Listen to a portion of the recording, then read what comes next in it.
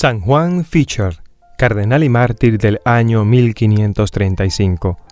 Este santo mártir nació en Beverley, Inglaterra, en el año 1469. Su padre murió cuando Juan era todavía muy niño.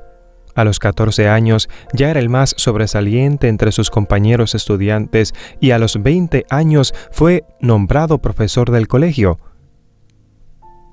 Se doctoró con gran brillo en la famosa Universidad de Cambridge y a los 22 años obtuvo ser dispensado de la falta de edad y fue ordenado sacerdote.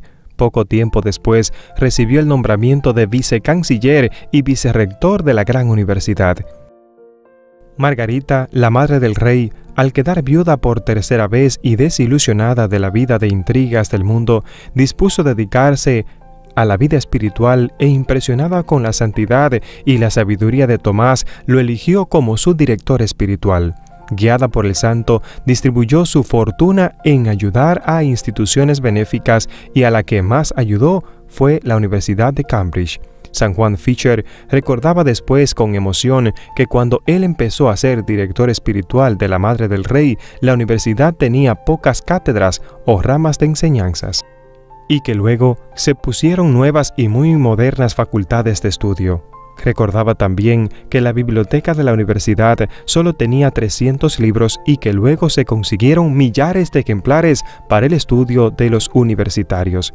Juan fue elegido canciller de la universidad y este cargo lo obtuvo hasta su muerte. Era un verdadero sabio y un gran benefactor. En 1504 fue elegido nuestro santo como obispo de Rochester cuando solo tenía 35 años, y él, como hacía con todos los cargos que le confiaban, se dedicó a este oficio con todas las fuerzas de su recién personalidad. Con un entusiasmo no muy frecuente en su época, se dedicó a visitar todas y cada una de las parroquias para observar si cada uno estaba cumpliendo con su deber y animar a los que, no muy entusiasmados, a los sacerdotes les insistía en la grave personalidad y responsabilidad que tenían que cumplir muy exactamente sus deberes sacerdotales Iba personalmente a visitar las chozas de los más pobres, distribuía limosnas con enorme generosidad y en su casa siempre las puertas estaban abiertas para recibir a visitantes, peregrinos y necesitados. Y aunque parezca imposible, además de todos sus demás trabajos, dedicaba horas y horas al estudio y a escribir libros. Se hicieron famosos sus discursos fúnebres a la muerte del rey Enrique VII y el funeral de la reina Margarita y aunque era obispo y además canciller de la universidad, llevaba una vida tan austera como la de un monje. No dormía más de seis horas, hacía fuertes penitencias, en su mesa tenía frente a sí una calavera para recordar que también él le llegaría la muerte y la hora de tener que darle cuentas a Dios de todos sus comportamientos.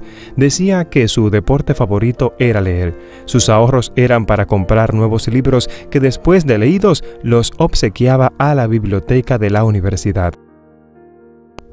Cuando le ofrecían otras diócesis que producían más en dinero, le respondía, no cambio a esta esposa pobre, pero amable y muy fiel, por la viuda más rica que exista. Cuando Lutero empezó a difundir los errores de los protestantes, el obispo Fischer fue elegido para atacar tan fatales errores y escribió cuatro voluminosos libros para combatir los errores de los luteranos. Esto lo hizo famoso. El embajador de España llegó a afirmar que el obispo Juan era el prelado más santo del país de ese tiempo y el rey de Inglaterra exclamó, Ningún otro reino tiene actualmente un obispo tan sabio y tan santo como San Juan Fisher. En un sínodo o reunión de todo el clero de Inglaterra, el obispo Fisher protestó fuertemente contra la mundanalidad de algunos eclesiásticos y la vanidad de aquellos que lo único que buscaban eran altos puestos y no la verdadera santidad. Criticaba fuertemente los defectos que eran necesarios corregirlos, pero él personalmente daba muy buenos ejemplos de vida en santidad.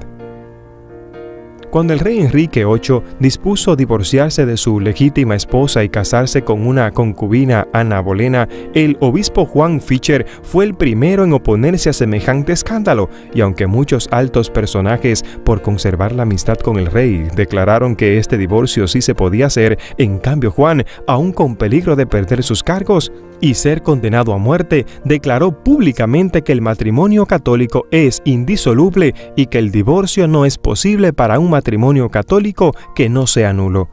Muchos le decían que la gran mayoría de los altos empleados oficiales aprobarían el divorcio del rey y él le respondía, ellos tienen que cumplir lo que les diga su propia conciencia. Yo para salvarme estoy obligado a obedecer lo que a mi conciencia me dice. Y ella me afirma que este divorcio no lo puedo aprobar el terrible rey Enrique VIII se declaró jefe supremo de la Iglesia en Inglaterra en reemplazo del sumo pontífice, y todos los que deseaban conservar sus altos puestos en el gobierno y en la Iglesia lo apoyaron. Pero Juan Fischer declaró que esto era absolutamente equivocado y en pleno parlamento exclamó, querer reemplazar al Papa en Roma y al rey en Inglaterra como jefe de nuestra religión es como gritarle un muera a la Iglesia Católica.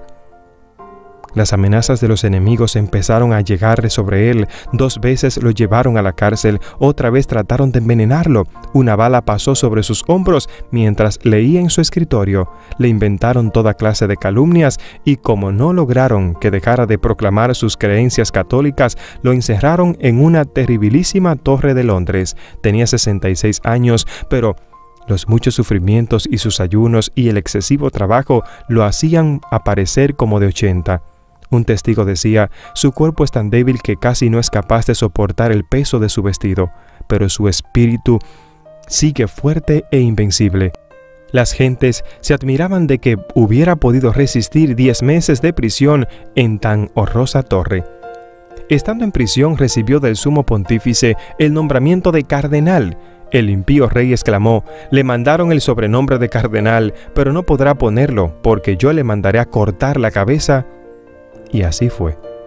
El 17 de junio de 1535 le llegaron la sentencia de muerte. El rey Enrique VIII mandaba matarlo por no aceptar el divorcio y no aceptar que el rey reemplazara al Papa en el gobierno de la Iglesia Católica. Unos días después, al amanecer, llegan los guardias a llevarlo al sitio donde debe morir. Lleva en sus manos el Nuevo Testamento, abre donde primero salga y lee esta frase, la vida eterna consiste en conocerte a ti, Padre Dios, y a tu enviado Jesucristo. Padre, yo te he glorificado en la tierra y he cumplido la tarea que tú, lleno de ánimo y de consuelo, me has confiado. Esta lectura lo llenó de ánimo y de consuelo. Al llegar al sitio donde le iban a cortar la cabeza, el venerable anciano se dirige a la multitud y les dice a todos que muere por defender a la Santa Iglesia Católica fundada por Jesucristo pide a los verdugos que le cedan unos minutos para recitar el himno Te Deum en acción de gracias al decir la última frase, En ti Señor espero, no sea yo confundido eternamente. Inclina su cabeza, la cual es cortada con un hachazo de los verdugos de un rey impuro. Su vida es recordada el 20 de junio enseñándonos a ti y a mí que siempre debemos hacer lo posible para que los demás se acerquen al Señor. Siempre debemos defender a la iglesia y tenemos que hacer lo que nuestra conciencia espiritual nos ordena que hagamos. No nos dejemos arrastrar por las doctrinas, las cosas complicadas de este mundo, la comodidad, la maldad, la vanagloria, el orgullo, señores. Lo que importa es la santidad. Qué hermoso fue que cuando Lutero empezó a propagar las falsedades de religión evangélica y luteriana. Señores, este hombre fue el que pudo defender a la Iglesia Católica. Ojalá que tú y yo nos preparemos de tal forma que también podamos defender a la Iglesia y defender el nombre de nuestro Señor Jesucristo, así sea con nuestra vida. Que Dios te bendiga y que Dios te guarde. Gracias por compartir y suscribirte en este canal. Recuerda, la vida de los santos es para escucharla, para aprendérsela y para ponerla en práctica. Oye, no olvides compartirla. Que Dios te bendiga. Gracias por escuchar a Ariel Céspedes. No olvides compartir y suscribirte en este canal.